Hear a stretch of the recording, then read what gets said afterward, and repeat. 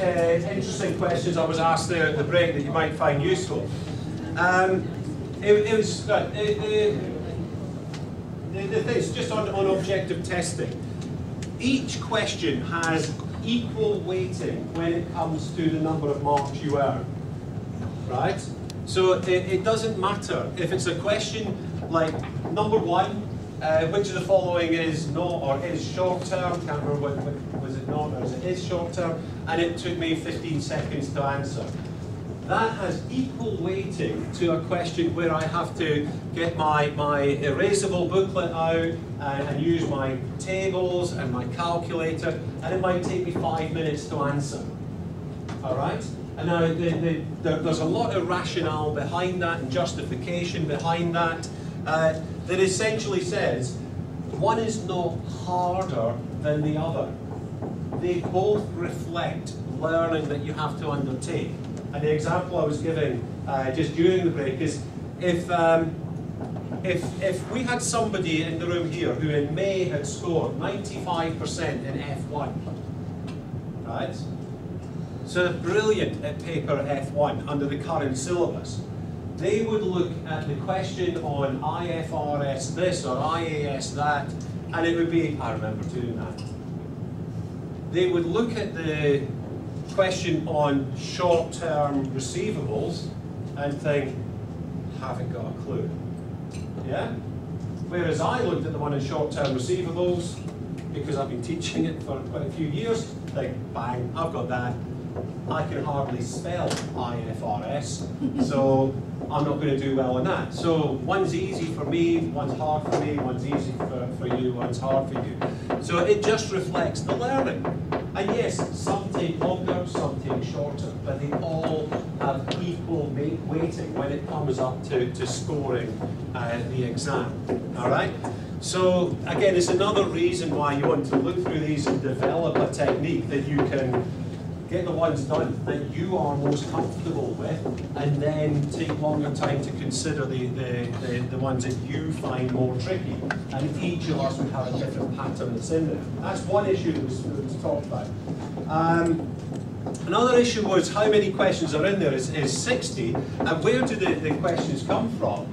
In the syllabus, um, and I've got my syllabus document here. If you don't have one, I apologise, we don't have to hand out, but um, you can download this if you don't have a hard copy.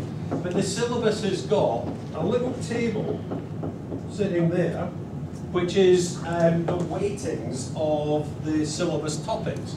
I'm looking, I've got P3 open here. It says there are five topics, A, B, C, D, and there's 20% weighting on each of them.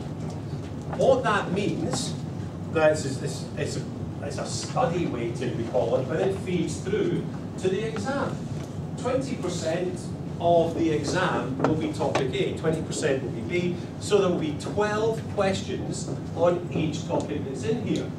And remember what I was saying with my 50% equals 70% and vice versa, every component learning outcome will be examined.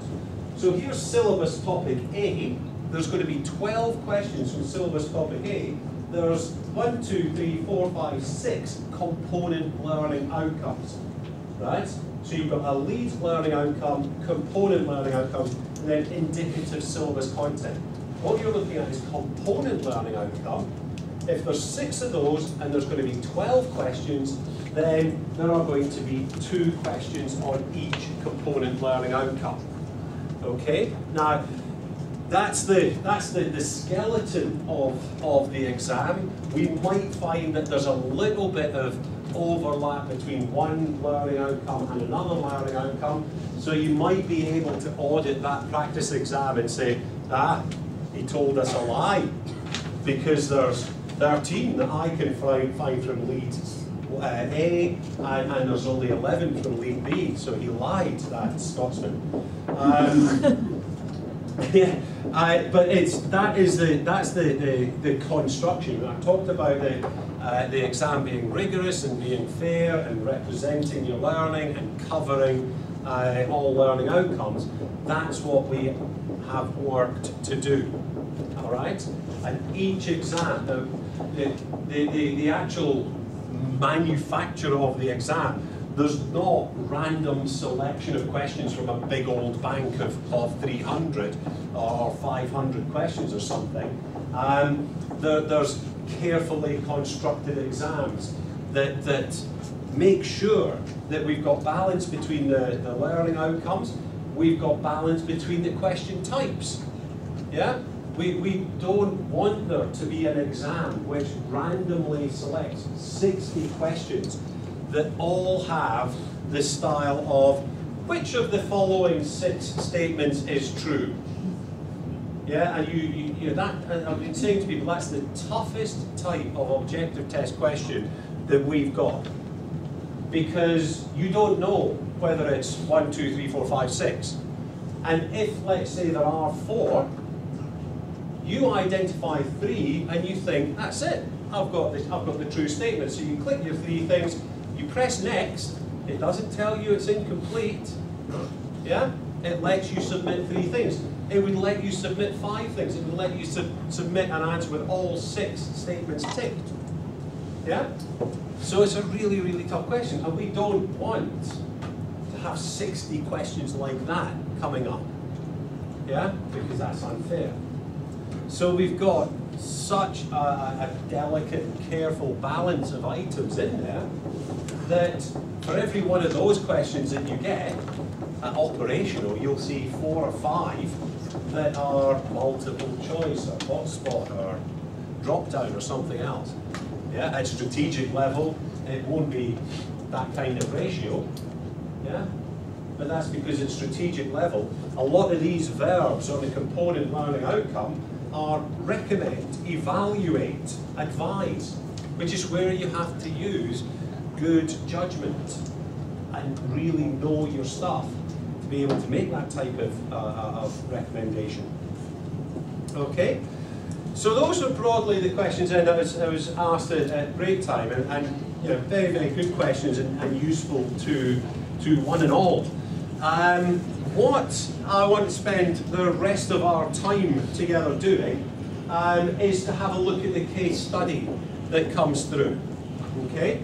Um, now, the case study works. Again, the, the, I've gone through the, again, the practice exams and so on and landed on the management level case study. We've got the narrative that's in there uh, about the case study practice exams. The exam tutorial is the same one that we've got for the objective testing. So once you've downloaded that once, you look at it, and it is just showing the screens, all the, the features of all the screens that we've got. Practice exam I've opened, so we'll, we'll look at that in a moment. Supporting resources, marking guidance with a, a model answer in there um, that you can look at. Okay, now what happens with the case study is that seven weeks before the exam window, so seven weeks, this is management level, so this is week three of May, August, November, February. Count back seven weeks from that, so what, first week of January, first full week of January, on the Monday, you would be, you would have access to all this stuff, all right? And this stuff has got a pre-seen, what we call, well, it's all pre-seen, but it's got uh, the introductory overview, which that's it there for this management case study, and it starts it starts telling you about the fictitious company that you got to role play that you are working in. Okay? So, uh, low cost airlines, Western, Southern Europe, stuff about the business model. Um, regional airports, uh, we don't provide in-flight snacks and refreshments. Right, so just general stuff about a business that you know you might be familiar with how the, the low-cost airline model works, you might not, but we're all able to get to the same speed on this. Yeah?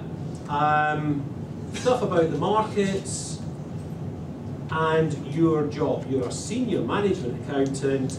Main role is to provide information to the finance director to enable the company's performance to be measured and for decision-making purposes. So that kind of goes back to, um, in my slides, where was I?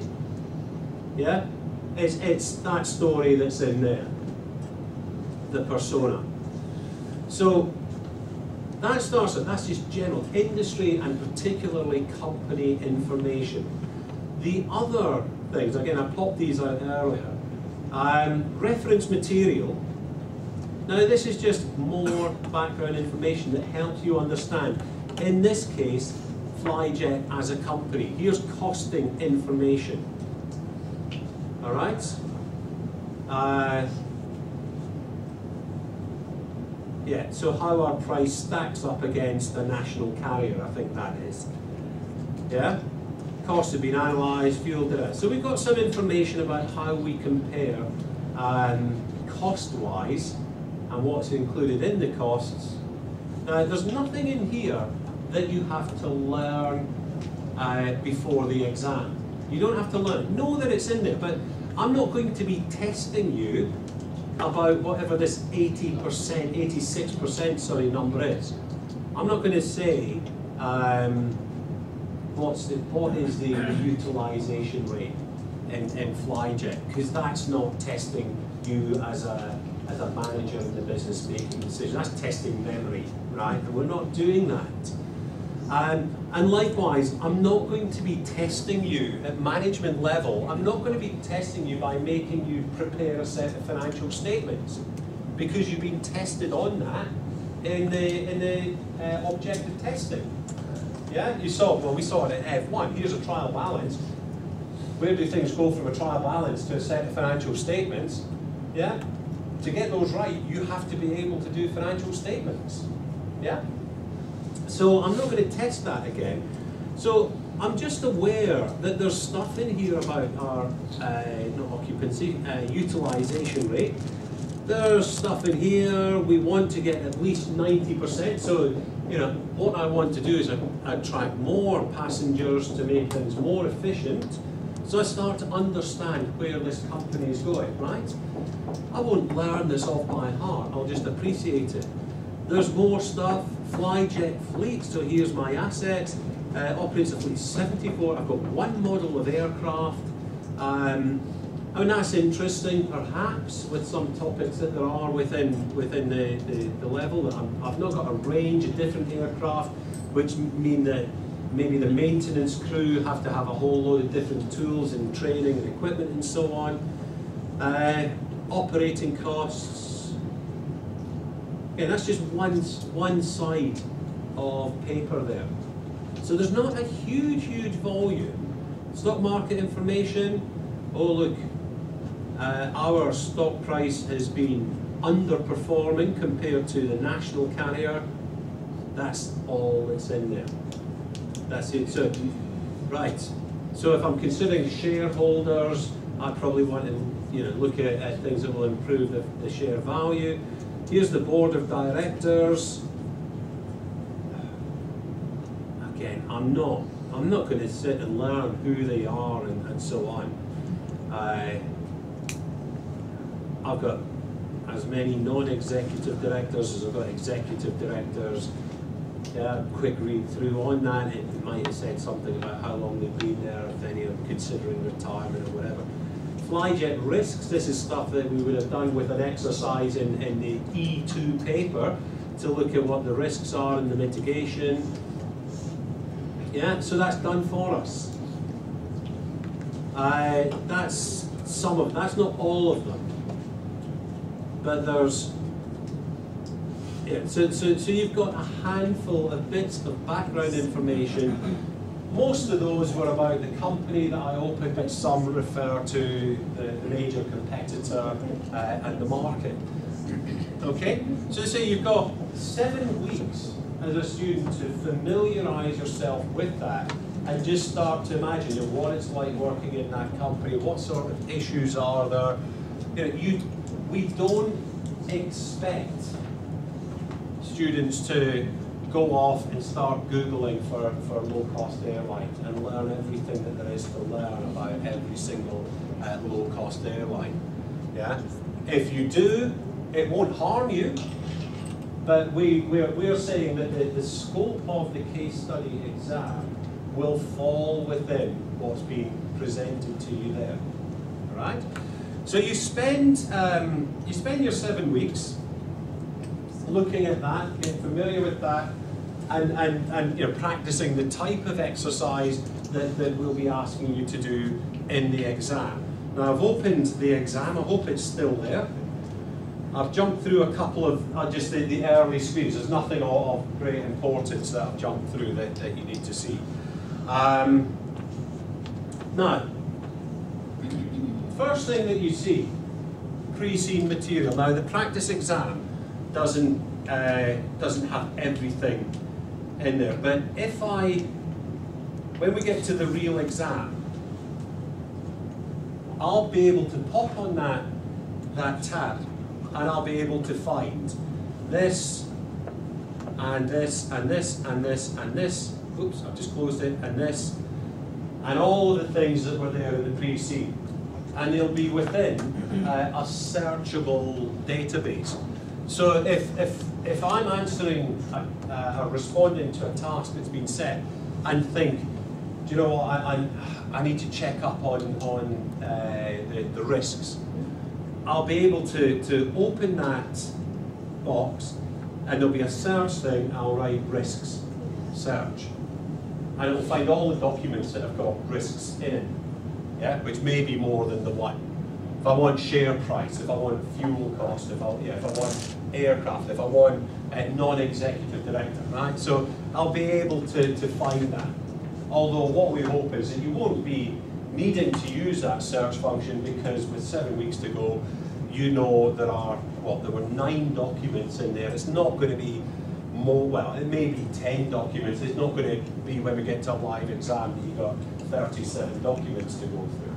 Yeah, so there's a, a limited number of documents, fewer operational, slightly more strategic, right? But not, not you know, like a, a book full of them. So, so you've got, you've always got this as a reference point. We don't envisage anyone having to spend, you know, like 20 minutes during the exam reading this because they've seen it. You might just want to glance into it again and say, hang on, what was that occupancy? I knew there was stuff about occupancy rate. What was the occupancy, or occupancy rate, the utilization rate? yeah, you might just want to remember what word they use. It's not occupancy rate, because you use that for hotel. So you might just want a reminder, right? I know it's 86%, but I can't remember what the word is. So where was that again? Yeah, search for 86%. Oh yes, it's utilization rate. Yeah? So, so that's really all that we expect that to, to be there for. The other thing that's on this um, pre-seen this was a this was a screen that I went past while you were having your, your tea break. Um, before you start the exam, it's telling you that this exam constitutes four sections, uh, 45 minutes, 45, 60 minutes. So that's the breakdown of the work. So it gives you an indication of, of what's coming up, right? Um, and it says here that, that 45 minutes is for everything. It's for reading, it's for planning, it's for answering, yeah? So we don't have, like the, the, the current paper-based exams, a 20-minute uh, reading window. Now, in the exam, what happens? There's, there's really two things that's going to happen. And, and this is simulating being at the office, being that persona reporting to the finance director and so on, all the stuff you've learned about. And um, it's going to simulate, in this case, a news article, but we'll have something that, that unofficially we're calling a trigger. I say unofficially, and then lots of people in CIMA call it a trigger, but apparently there's another phrase that, that gets used and, and it doesn't make as much sense as trigger. So something happens, there's something that has moved the story on from what we had in the pre-seen. There's an event, there's an, a, a happening, something or other that says, oh, hang on, we're going to have to do some thinking, some management accounting thinking. All right? Now, in this case, we've turned up at work and somebody at the coffee machine or whatever has said, have you seen this in the news? The news is that um, jet fuel prices are soaring, and that's going to have an impact on airfares. And, and we know from our pre-reading that our profit margin is very sensitive to, uh, to the, the price of fuel. It's a significant portion of our costs, and because we're low price, then that's the impact. So we, yeah, we should know that's, that's uh, an, an alarming situation for us, right? So all this is, and, and when you look through the various uh, uh, case studies, practice case studies, you'll see all sorts of differences. Sometimes it is a news article, sometimes it looks like a web page that you clicked on. Sometimes you've got um, your boss or a colleague comes into your desk or comes up to your desk and says, "Oh, here's some minutes from a meeting that, that took place yesterday, and I think we should worry about this." Or you know, so something has happened in a business context that says, "Right, let's get our management accounting boots on and see if we can make things better." Okay, so that is a one pager in there. That's the trigger. I click next. So I don't do anything about that other than read it. I click next. You know, so I started this a while back so that I'm 14 minutes to go. I'm not going to pass this. right. Um, I, I, do want to get to the, the clock that stops it. I, I click next, and then there's what? So we've got trigger, and that triggers a task. This is the task the finance director, the person who had said we report to, sent an email asking to be part of a working party from Michael Gibbons. I would like you to join a working party that has been established to consider potential ways of reducing costs and increasing revenues. Oh, brilliant. And that, when fuel prices are going up, that's a task and a half. I'm concerned that the scenario in which the price of aviation fuel is inflated may continue into the long term. I would like us to suggest ways in which improved accounting might help the company to manage this problem. All right, so spe specifying the accounting rather than looking for suggestions on how to save costs, you know, like, I don't know, have, don't clean the aircraft as often. Lock the toilet doors so you don't have to clean them. All right.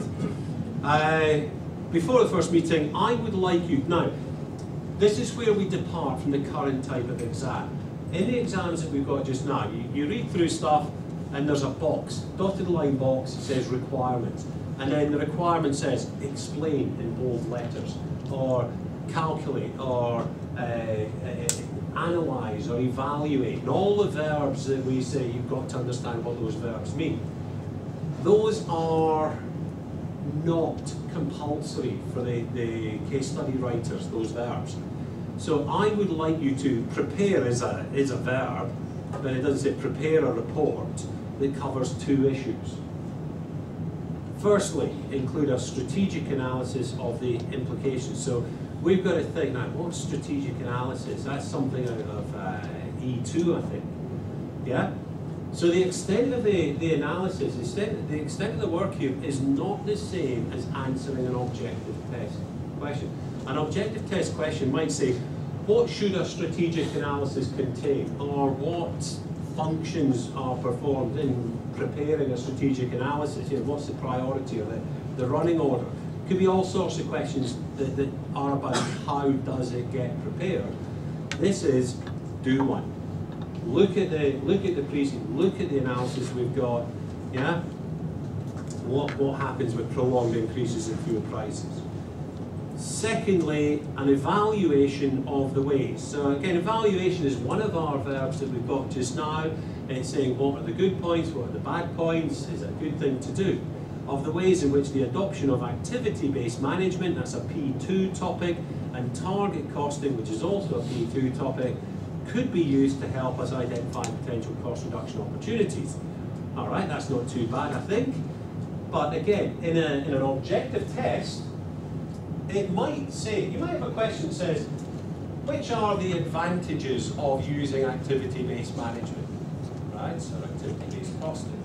It might have an exercise that says, here's some costs, here's some cost pools, here's some drivers, calculate the, the activity-based cost per unit of product X, right? Objective test, very, very focused on this, all right? Likewise, target costing. You might have something an objective test that says calculate a target cost. It might have put the following steps in the right order. How do we establish a target cost? Uh, it could have, you know, what, what point in the life cycle is a target, target costing exercise going to be carried out? There's all sorts of th things that can be in, in, in testing. But this is, for this business, the task that you have to perform. All right? For us, in, in our airline, how might target costing uh, be a benefit, evaluate it.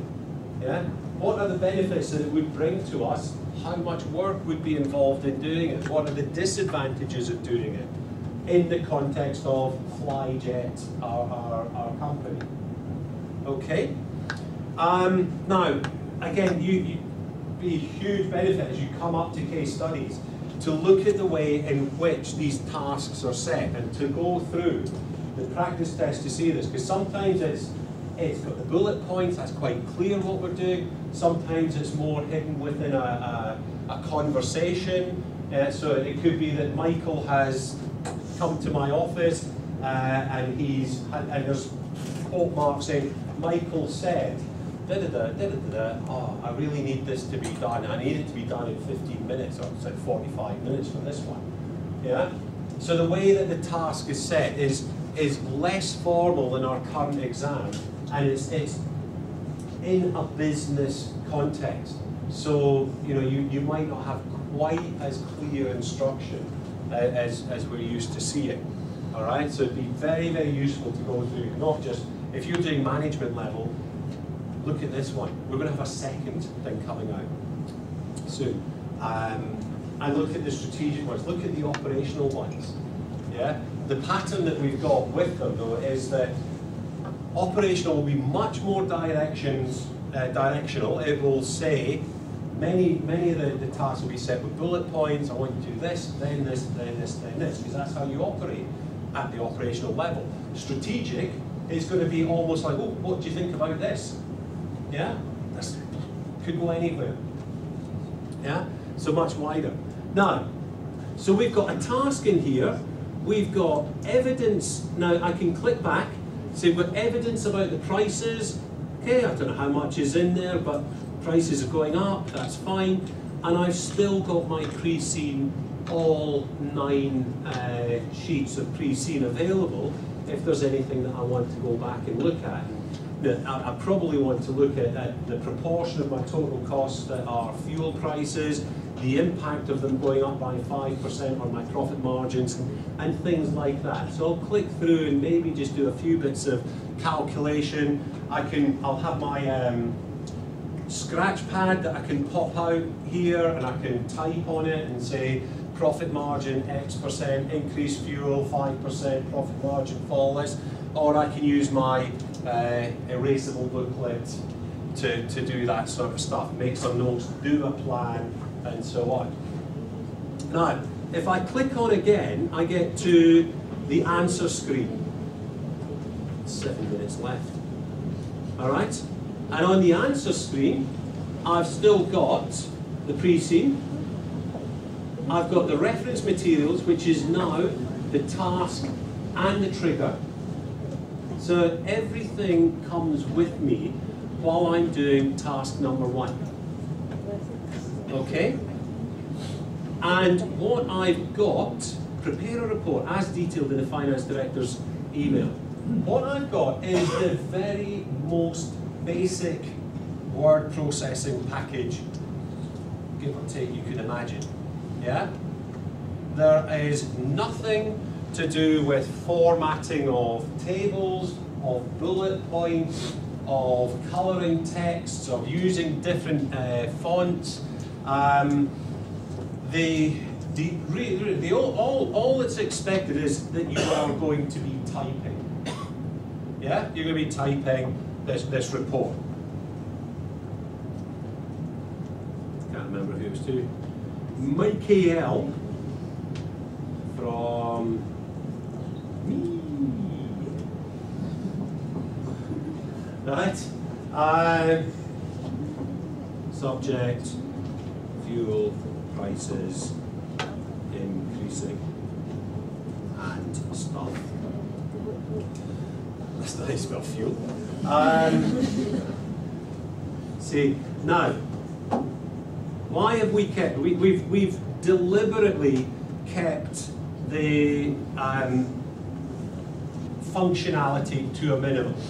The reason being that we do not want people who have tons of experience working in Microsoft Word or Excel or PowerPoint to have an advantage over other people who haven't had that experience. Right? We want to assess how good you are at management accounting, not how good you are at making a report look pretty. All right, I think that's fair. The other thing, oh, I, I did this on purpose. That's why I opened it at the tea break. It is going to tell me to get a move on, right? Now, hopefully not at the point where I've just written the heading of the report, but uh, we'll, we'll pretend that I've written an awful lot more. Uh, the other thing to bear in mind is that this is not becoming a test of how quickly you can type. All right? Those of you that, that were here when um, Stephen, can't remember his surname, talked about business writing in, in, in English, uh, one of the things that came out, and, and this, is, this is a guy who's worked in KL, he's a Canadian guy, he's worked in KL for 12 years, I think, and he, and he knows how people communicate in business and, and how uh, when you're trying to write in English, tend to put a few more words in than is absolutely necessary um, to make the point. And it's, it's not just uh, KL, it's not just Malaysia that that happens. We get everyone doing it. Yeah. Um, if I'm the finance director, I don't want to be spending 45 minutes reading this report. I want to see the key points. Yeah, I want things to be concise, straight to the point, and it's it's something that, that we need you need you to try and practice. If, you look at the answers to these these uh, tests, model answers now, these are the ones that go way way beyond what we'd expect a student to do to pass. Um, it doesn't take 45 minutes to type those answers. There's careful consideration goes into it. So, so we don't want people who are going to be going,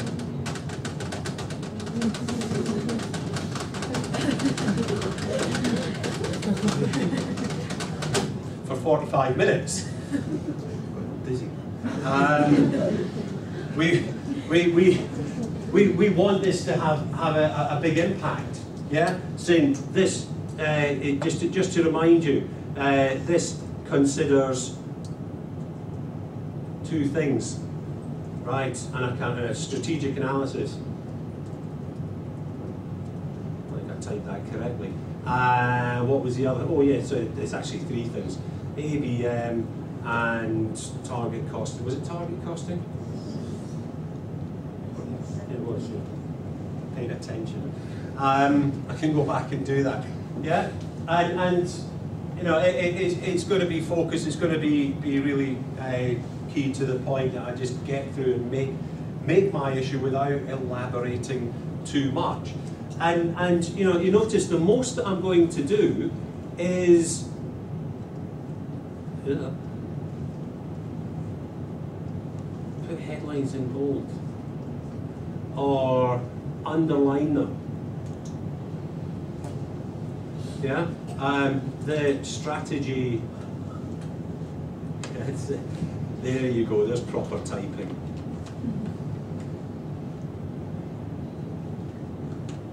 Is right. So I can't. I can't even set this to, to, to bullet points or anything. Yeah. Uh, and you know, it, what, else can I do? I I can I can type, I, I can do that. I can spend 20 minutes putting ideas down. I think it's a great way to do it actually. It's just to say, the, the thing that, when I'm writing a, a paper-based exam, or when I have done, the bit that I hate is that I'll get things, I've done my thinking process and I start writing. And when I've done about 15 minutes of writing, suddenly I have a flash of inspiration of something that should really be near the top of the answer. We've been there, we've done that, haven't we? What do we do here? We go, let's just cut that from there and put that there. Brilliant. I can do that paragraph by paragraph.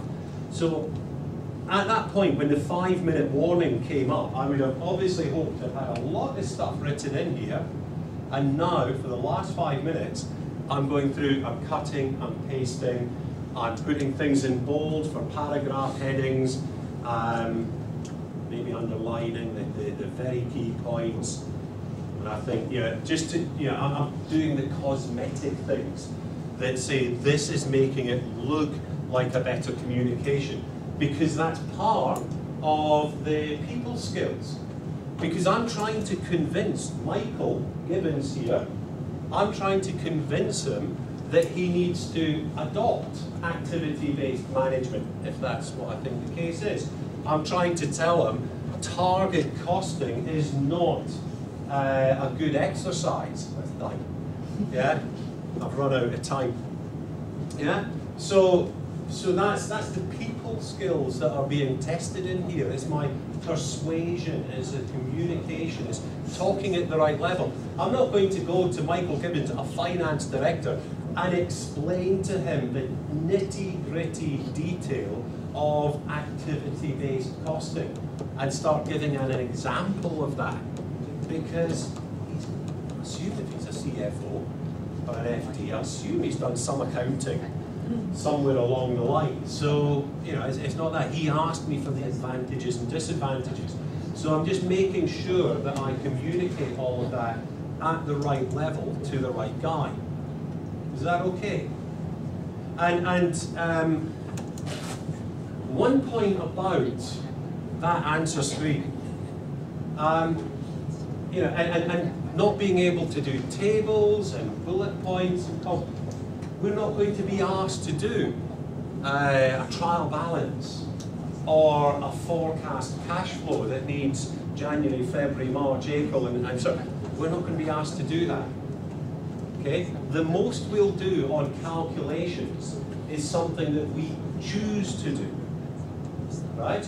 So I might choose to say what proportion of my total costs are made up of fuel costs because I think that might contribute to that strategic analysis. Yeah? I might look at profit margins. I might build that required utilization of 90% somehow into my discussion of target costing. But you saw there was no indication I had to do that. I'm only going to do it if I think it adds to the explanation that I'm doing. And if I do that, then that's my business skills. I, among many other things, it's my business skills be, be, being shown off. Because I'm saying that can talk about I can talk about target costing all you want. I've got to talk about target costing for flyjet, and if I can illustrate it with not only the the facts that come from the, the pre-seen, but also a few of the figures, then really that's really going to make a solid answer. But it's, it's my judgment as to whether I include it or not. Okay, now a very, very quick point. This cut me off because time went to zero. If I was doing the objective test, it cuts me off when time goes to zero. All right? It doesn't mean anything's lost. This has saved everything that I wrote. Somebody back at Pearson VUE can now open this if they wanted to, and see what Her Majesty the Queen has written about activity-based man management and target costing, and they will probably get as good an answer as if Her Majesty the Queen herself had done this.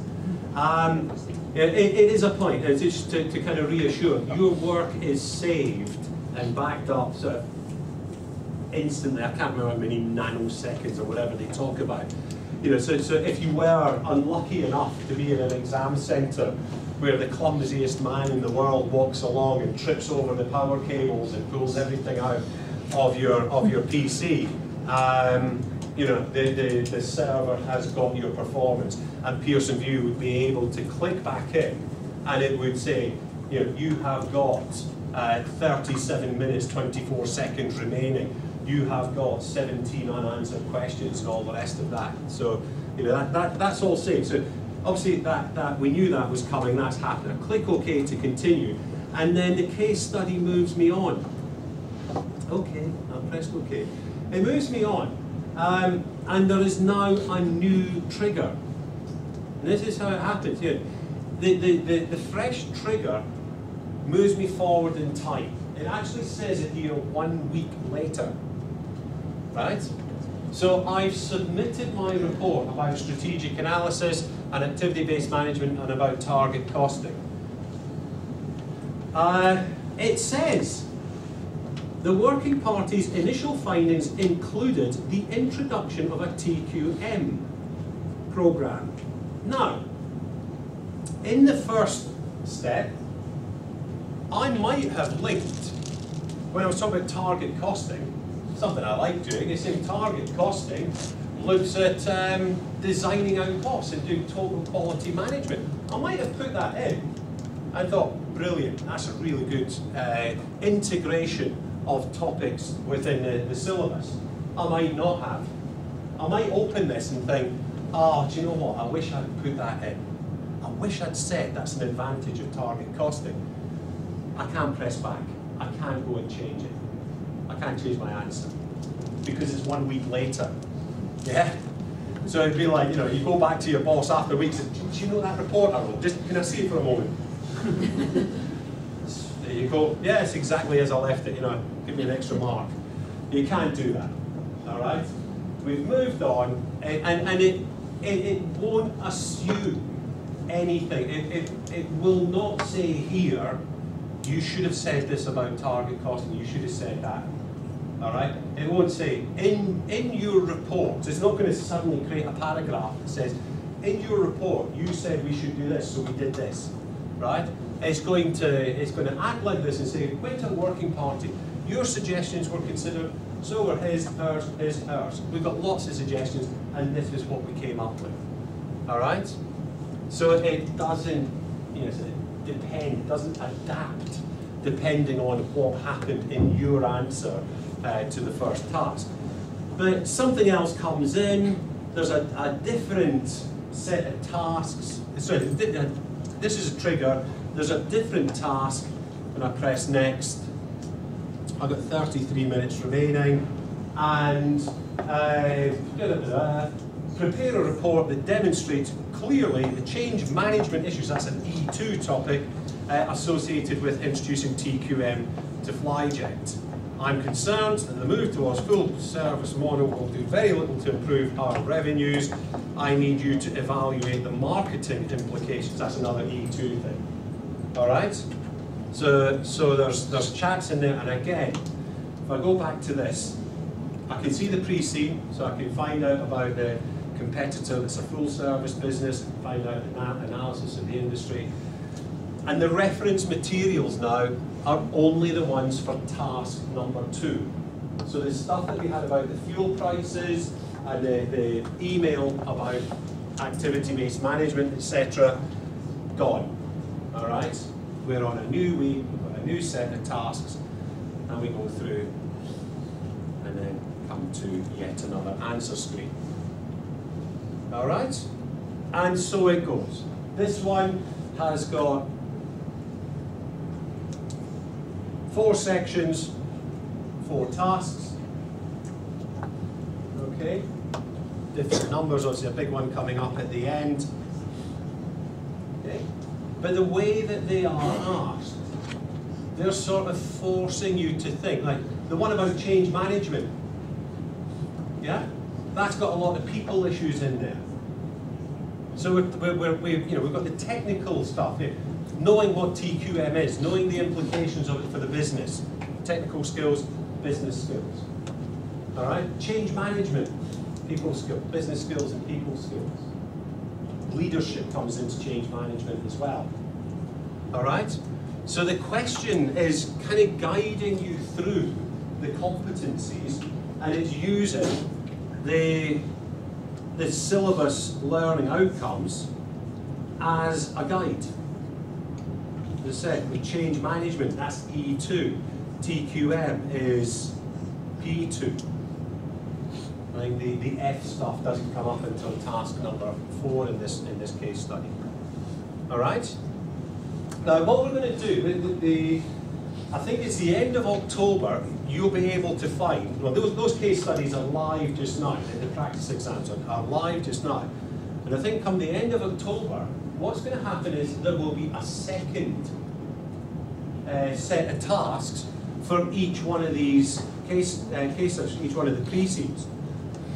So you'll get to see how um, the exams can change. So how within one case study window, I said we're going to have five different uh, sets of tasks. We're calling them variants. So there'll be a second variant out. So there'll be something to do with flyjet that comes out. And maybe, uh, I've got no idea, I've not seen what's happening with the second variant. But the first task might have nothing to do with fuel prices at all probably won't. Yeah? It will probably start with some other type of decision. We've identified a different model of aircraft that we think is, is worth investing in. Yeah, because we've only got one just now. Here's the cash flow forecasts associated with buying, maintaining that model of aircraft. Yeah, discuss the investment appraisal, discuss the strategic um, issues, discuss the, the, the, learning curve, people management issues around it. It could be something like that. And then it might take you off and say, if you're going to acquire these aircraft, what source of finance are you So the second task might be about financing. And then about, I don't know, so it, you'll see that the same set of pre-seen material, this set of nine items, those won't change, but there'll be a completely different scenario for a management level person to take. All right? And likewise, ops and, and uh, strategic. Okay? So we will be notifying people when those are available. We're just going to sneak them on there and, and say, hope you find them. um, we'll be doing that. And as I, again, if, if when, when it comes to, to preparing for the case studies, you know, the very least that you're going to do is try to work through these and see uh, see what you're being asked for. Yeah.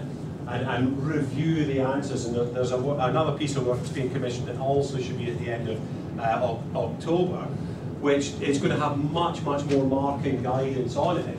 This one just has a grid of numbers. It's completely uh, uninformative for, for somebody who needs to learn what needs to be done in a case study. Uh, but we're, we're, going to get something that says, if you look at this answer, or sorry, if you look at this task, the thinking behind this task was I wanted to test people's uh, business skills and leadership skills. And I've done it by making them think about these topics from these learning outcomes. Now, in the answer, here's the answer, and beside it there'll be a narrative that says, this paragraph has been put in to set the scene. It's a format of a report. It's essential that we communicate well. This would earn you one mark on people skills. Yeah? This paragraph describes what activity-based management is about to make sure that any reader is able to understand the context of the advantages and disadvantages. That's a technical skill, it's worth, worth one mark. This paragraph talks about